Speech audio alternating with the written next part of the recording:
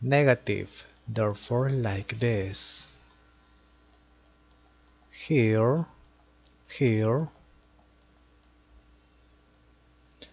Exponent like this. 32 divided by 1 is 32 exponent is fraction therefore root here here 1 exponent is 1 therefore equal the same number. 5 therefore 5 equal numbers that multiply is 32 5 equal numbers.